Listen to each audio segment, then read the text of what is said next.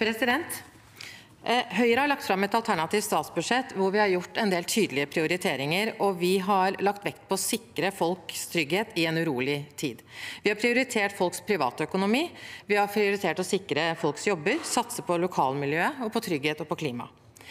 Og Høyre vil løse de utfordringene vi står overfor, uten å øke skattene som setter folks jobber i fare. Vi har prioritert over 6,5 milliarder kroner til styrking av folks privatøkonomi, bl.a. med lavere skatt på vanlige inntekter og en økning av barnetrygden på over 3 000 kroner per barn. En vanlig familie med to voksne med moderate inntekter og to barn ville med vårt budsjett fått over 8 000 kroner mer å rutte med i året. Det betyr noe. Eh, så er det også sånn at Nav melder om at det er 70 000 ledige jobber der ute, men samtidig så er det 250 000 mennesker som står utenfor både utdanning og jobb. Så Høyre har derfor fortsatt satsingen på å inkludere i arbeidslivet med 1000 flere tiltaksplasser for personer med nedsatt arbeidsevne og 1000 flere varige tilrettelagte arbeidsplasser. Og det har også vært viktig for oss å øremerke midler til eh, tiltak som stiftelsen Helt Med, som skaffer jobb til folk med utviklingshemming og til TV Bra. Det har også vært viktig for Høyre å bidra til å redusere presset på norsk økonomi, eh, ikke minst gjennom lavere oljepengebruk enn det regjeringen har lagt opp til. Og det er jo for å minske behovet for å øke rentene, noe som virkelig gir seg store utslag for mange i en tid med økende priser, ikke minst på strøm og mat. President, disse prioriteringene er også synlige i Høyres alternative budsjett for Kultur- og likestillingsdepartementet. Og jeg vil ta for meg noen av områdene nå, og så vil min gode kollega, partikollega i komiteen komme tilbake til andre områder i et senere innlegg. President, Noe av det jeg mottar aller flest henvendelser om, er hvordan en tøffere økonomisk hverdag for mange gjør det vanskeligere å prioritere barns fritidsaktiviteter. Og dette er også veldig synlig i mediebildet. Nå er det ikke noe nytt at økonomiske barrierer eh, for mange barn og unge bidrar til at de ikke får deltatt i idretten og på fritidsaktivitetene, men nå ropes det varsko i nesten alle kanaler. Sparebank1 har nylig publisert resultatene fra sin årlige undersøkelser eh, om holdninger til kostnader i barneidretten. Og president, disse tallene er skremmende. 30% har valgt å ikke introdusere barna for visse idretter fordi det er for dyrt. 20% har valgt å ta barna ut av en idrett fordi det er for dyrt. 43% opplever et sterkt utstyrspress. 22 oppgir at de har benyttet kreditt for å få råd til barns sportsutstyr. Og det er gjennomgående at det koster mer å ha barn i idretten. Vi har kunnet lese i Aftenposten hvordan generalsekretæren i Oslo idrettskrets uttaler at idrett er i ferd med å bli for øvre middelklasse, og at vi står i fare for å gi opp deler av befolkningen. Nordlys fra en annen del av landet har presentert en fersk undersøkelse som viser at 10% allerede har kuttet ned på sports- og fritidsaktiviteter til barn. I NRK har vi kunnet lese at stadig flere foreldre ber om hjelp. Også familier som har normale inntekter, kommer nå til idrettslagene og ber om hjelp for å kunne holde barna i idretten. Og som daglig leder i Åssiden idrettsforening sa i en sak hos NRK, han mener at situasjonen har forverret seg kraftig etter at regjeringen valgte å avslutte fritidskortordningen, en ordning han mente traff godt. I saken hos NRK kunne vi også lese om den ti år gamle gutten som hadde fortalt at han var veldig glad i å spille fotball. Men da han ble spurt om hvilket lag han spilte på, så spurte han å, du mener sånn pengefotball.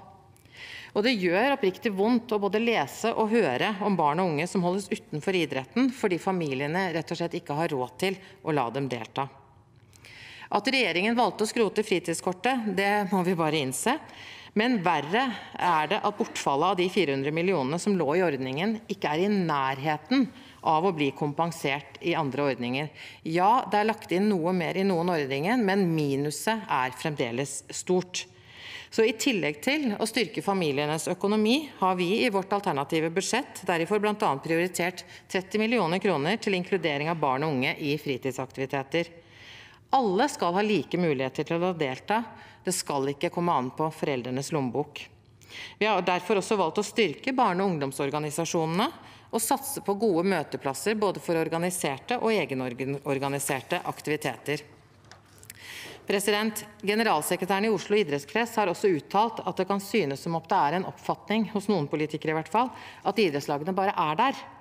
Men det er de ikke. De trenger også hjelp for å klare å overleve og for å kunne fortsette å gi et verdifullt tilbud til barn og unge. Jeg er glad for at regjeringen til slutt fikk på plass en strømstøtteordning for frivillige organisasjoner. Dette var svært viktig for idrettslagene, både for at de kunne unngå å stenge ned, men også for å unngå å øke kontingentene. Og det var ikke minst viktig for alle de barn og unge som da fortsatt hadde et tilbud. Jeg er også veldig glad for, som representanten Bakke var inne på, at ordningen er forlenget ut juni 2023. Men denne komiteen har tidligere vært klare på at strømstøtteordningen til frivillige organisasjoner må følge ordningen for private husholdninger. Både når det gjelder kompensasjonsgrad og varighet, er det viktig. Støtteordningen for private husholdninger er forlenget ut desember 2023. Det samme bør gjelde for organisasjoner. Og en svakhet ved den opprinnelige strømstøtteordningen til frivillige organisasjoner var at den ikke inneholdt noe tilskudd til alle de idrettslagene som bruker gass som energikilde. Dette ble meldt inn av idretten allerede, da vi behandlet uh, den første strømstøtteordningen i februar. Og Høyre foreslo også den gangen at ordningen måtte utvides for å inkludere dette. Barn og unge trener, som trener Eh, på anlegg som benytter gass som energikilde, fortjener også at deres idrettslag får hjelp til å holde kostnadene nede. Så jeg er veldig glad for at regjeringen i nysalderingen av budsjettet for 2022 fant penger til å hjelpe også idrettslag som bruker gass. Og jeg håper virkelig at dette også videreføres i 2023, og at regjeringen nå tidlig vil gi klare signaler om at idrettslagene kan forvente også denne støtten til neste år. President, det har nok vært en utfordring for oss alle å klare å prioritere det som er viktige formål for oss i årets eh, budsjettbehandling. Høyre har derfor valgt å kutte i byråkrati for å kunne bruke pengene på det viktigste, altså å styrke kulturen, idretten og frivilligheten. For Høyre har det vært viktig å finne muligheter for at mer penger skal kunne gå til gode formål innen idrett og frivillighet. Og vi fremmer derfor i dag også et forslag om at regjeringen skal påse at en større andel av omsetningen til Norsk Tipping skal gå til formålsmottakerne, og gjøre det ved å redusere administrative driftskostnader til reklame, konsulenter og profilering. Norsk Tipping har brukt om lag 450 millioner kroner til dette, og det utvidede reklameforbudet for utenlandske spill, både det som har trådt i kraft og det som vil tre i kraft ved nyttår, vil medføre et mindre behov for Norsk Tipping til å profilere seg for å gjøre den viktige oppgaven å lede spillelysten i befolkningen over til ansvarlige og trygge spilltilbud. Vi i Høyre mener at en reduksjon av Norsk Tippings bruk av penger til dette kan frigjøre så mye som 250 millioner kroner til idrett og frivillighet. Dette vil kunne brukes til mange gode tiltak. For eksempel vil det vært mulig å etablere bedre tilskuddsordninger for egenorganisert aktivitet. Man kunne ha videreutviklet gode folkehelsetiltak som Stolpejakten. Man kunne få etablert en søkbar ordning for møteplasser og arrangementer for gaming og e-sport, som jeg til min glede også ser at regjeringen er opptatt av og har funnet noe mer penger til eh, på slutten av året. Det ville kunne lagt til rette for økt eh, eh, utbygging av nærmiljøet og idrettsanlegg i kommunene, og også til å øke inkludering i idrettslagene. Andre viktige områder som man kunne ha valgt å styrke gjennom å frigjøre disse midlene, er f.eks. arbeidet mot kroppsmisnøye og spiseforstyrrelser i idretten, som er et prioritert satsingsområde. Og det vil være rom også til å øke tilskuddene til samfunnsnyttige formål, som f.eks. For Redningsselskapet, og også til å få på plass igjen en gaveforsterkningsordning som mange savner sterkt. President, Norsk Tipping skal ikke bruke mer penger enn nødvendig til reklame, profilering og konsulenter, men vi mener at det er viktig at regjeringen er tydelige i sine forventninger om at det økte reklameforbudet mot utenlandske spill også må medføre mindre pengebruk til slike formål. Vi håper derfor at partiene i salen her i dag vil kunne støtte dette forslaget. Og president, Jeg vil avslutningsvis få ta opp alle de forslag som Høyre står inne i, og som er innlevert av Høyre. Da har representanten ikke opp de forslagene de er en del av. Da er det klart for replikkordskifte. Første replikant Åse Kristin Ask Bakke.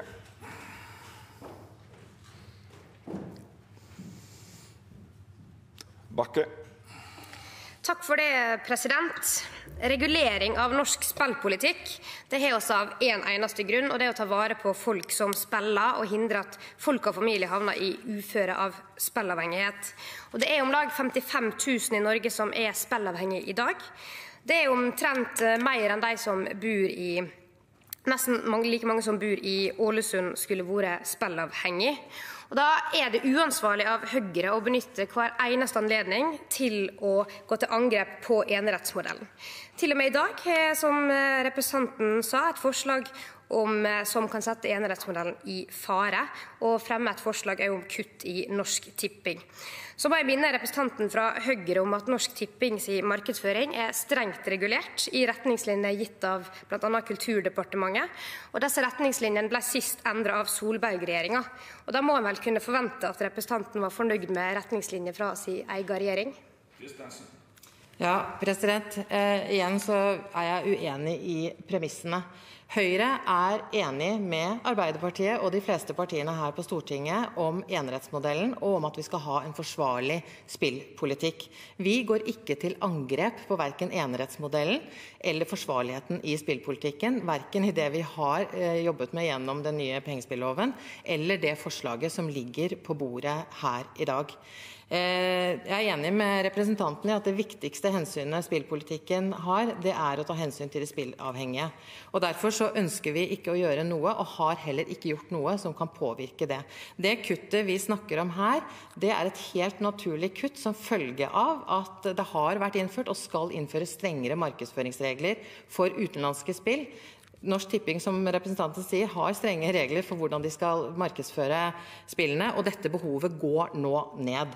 Eh, at vi har gode retningslinjer, også vedtatt av forrige regjering, det er bra. Men det er likevel viktig at regjeringen er på ballen og påser at dette følges opp. Det kan nok eh, kulturministeren òg eh, forsikre godt om. Men over til noe annet som representanten tok opp eh, i budsjettet. Det er jo nettopp barn og unge sin mulighet til å kunne delta i fritidsaktiviteter. Og det Representanten viste til fritidskortet, som var ei byråkratisk, dyr og ei ordning som ikke traff barn der ute. De fleste barn fikk ikke ta del i ordninga. I stedet for så vil Arbeiderpartiet heller satse på, på breie ordninger som treffer de fleste, via kontingentkasse og utlånssentraler. Men så må det òg legges merke til at uh, Høyre har valgt å ikke ta fritidskortet inn i sitt alternative statsbudsjett. Så mitt spørsmål er jo da om man har snudd i den saken og heller har sett at de store, brede ordningene er viktigere enn et kort som traff feil, var byråkratisk og ikke traff de barna som virkelig trengte det. Kristensen. Ja, president, Den traff mange barn som trengte det, og det trenger man bare å snakke med idrettslagene for å finne ut. Men eh, jeg mener jo at det er helt eh, legitimt å ville se på en annen innretning på på den type støtteordninger. Det viktigste er at vi har gode støtteordninger som treffer de barna og de familiene som trenger disse pengene. Så Derfor så har vi i denne omgang heller valgt å, å øke tilskuddet til inkludering av barn og unge, som også da kan gå til å øke aktivitetskassene. Eh, for det er flere måter å gjøre dette på. Men det som er kritikkverdig, mener jeg, og det er det samme som vi sto her oppe for kort tid siden i motsatt rekkefølge, eller på motsatte plasser, det er at regjeringen kutter, men de erstatter ikke eh, ordningen som kuttes. Ja, det er økt noe til aktivitetskasser, ja, det er økt noe til BUA og utstyrslån, men beløpene er langt lavere. Og Frivilligheten og idrettslagene påpeker at det er på langt nær kompensert. Og det er hovedutfordringen. Neste replikant, Åslaug Sem-Jacobsen.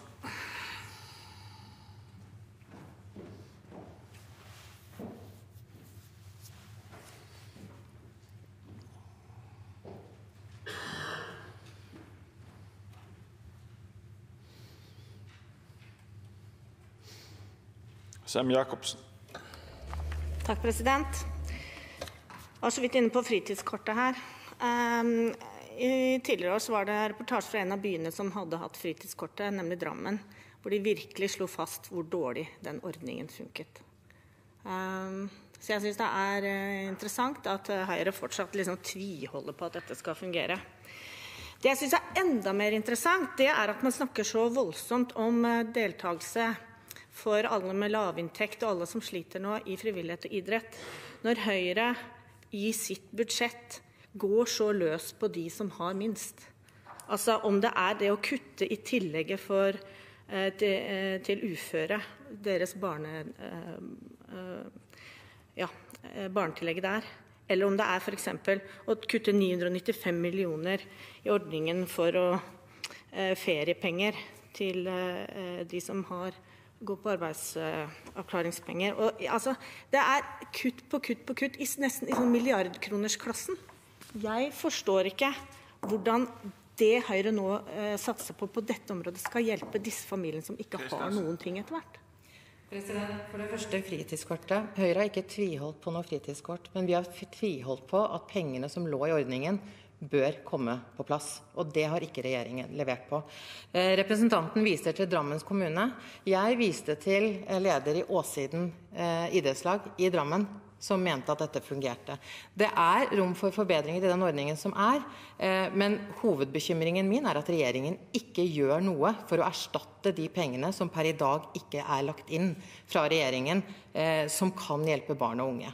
Så skal jeg ikke gå inn på alle de kutt, kuttordningene som ligger i andres eh, budsjettforslag, men hvis representanten har lest vårt alternative budsjett, så vil hun se at hovedprioriteringen er å styrke folks private økonomi, og ikke minst barnefamilienes økonomi. Vi går inn for en skattekutt for folk med moderate inntekter. Vi har økt barnetrygden med over tre ganger så mye som regjeringspartiene og SV gjør. Og en vanlig familie vil med vårt forslag få 8000 kroner mer å rutte med, og det kommer også de svakeste til gode. Altså, Det snakkes hele tiden om at hvor er den inndekningen? 96 millioner går til tilskuddsordningen for å inkludere barn og unge. Det har kommet en ny ordning nå på 200 millioner, som også handler om uh, aktivitetsmidler for uh, bl.a. barn i lavinntekt, jenter, uh, som er helt ny. I tillegg så har vi jo da kommet med eh, momskompensasjonsmidler, sånn at den blir fullstendig, som er en av de aller viktigste ordningene eh, for at frivilligheten skal kunne gjøre et godt arbeid for å inkludere. På toppen av det hele, da, så I den ordningen som, som uh, Bufdir, kom, eller uh, Barne- og familiedepartementet kom med, tilskuddsordningen, så er det jo mulig å søke om f.eks. fritidskort. For det finnes mange typer fritidskort. Bare at da er de rett og slett uh, strømlinjepassa de kommunene som ønsker seg det. Fjørtoft-utvalget påpekte at det må sånne fritidskort være. Kan ikke ha en sånn mislykka eh, nasjonal utrulling av et kort som de fleste syns var nesten umulig å forstå hvordan skulle få til å fungere. Så jeg er utrolig Ja. Så det jeg egentlig lurer på, er eh, Er det virkelig sånn at eh, det er det viktigste, å finne de pengene tilbake, eller er det det å ha ordninger som fungerer? Vi må prøve å holde oss innenfor tida. President, Jeg vet at representanten også er engasjert i det, og jeg har forståelse for at det kan være vanskelig å holde seg innenfor minuttet. Eh, men vi tviholder ikke på en ordning. Det er heller ikke riktig at de aller fleste mente at ordningen ikke fungerte. Høyre og jeg er helt åpne for at vi bør, få, eh, vi bør, kunne finne ordninger som kanskje treffer enda bedre, og det gjør vi med det vi også prioriterer i vårt eh, alternative, alternative budsjett. Men fakta gjenstår.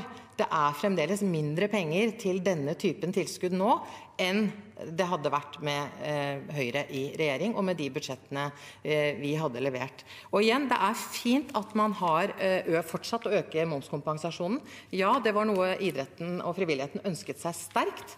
Men de har ikke ønsket seg like sterkt på ingen måte de kuttene i inntektsmulighetene og i støtteordninger som de opplever med dagens regjering. Så vi har nok litt ulike innretninger på hva vi mener at en sterk frivillighet som står på egne bein, faktisk er. Eh, og jeg skal ikke underslå at det er bra at man har økt momskompensasjonen, men det mangler fremdeles mange hundre millioner. Siste replikant, Kati Li. Ja alltid lurt. da. Det er inntil ett minutt, og ikke, ikke minst President. Eh, Høyre i regjering har jo stramma inn livreima i forvaltningen med ABE-kutt i årevis. Eh, og eh, nå avvikler jo vi dette urettferdige, flate kuttet. Og så ser vi at selv om Høyre vil styrke Kulturfondet og bidra til mer penger ut til, til viktige ting, så vil dere eh, altså fremdeles kutte i driftsmidler f.eks. til Kulturrådet, som jo skal administrere ordninga. Eh, så er det sånn at representanten mener at det ikke trengs en god administrasjon som sørger for at pengene kommer ut til kultur i hele landet på forsvarlig vis? Kristensen. Vi trenger en god administrasjon som sørger for at kulturen kommer helt ut i hele landet på et forsvarlig vis. Men for oss så har vi eh, ment at det er riktigere å kutte i byråkrati for å frigjøre mer midler til de som faktisk er der ute og skal legge til rette for kulturen lokalt, utøve kulturen lokalt og være de frivillige og jobbe med, med, med idretten. Eh, og selv om vi, som mange andre land, har en type ABE-kutt, eller et kutt for å finne inndekning til andre satsinger, så er det nettopp for å finne inndekning til andre satsinger. Dette er ikke penger som i seg selv blir tatt fra viktige områder, men vi har da valgt å prioritere noen eh, navngitte eller satsingsområder. Eh, og finansierer det med kutt i byråkrati for å frigjøre mer til gode formål.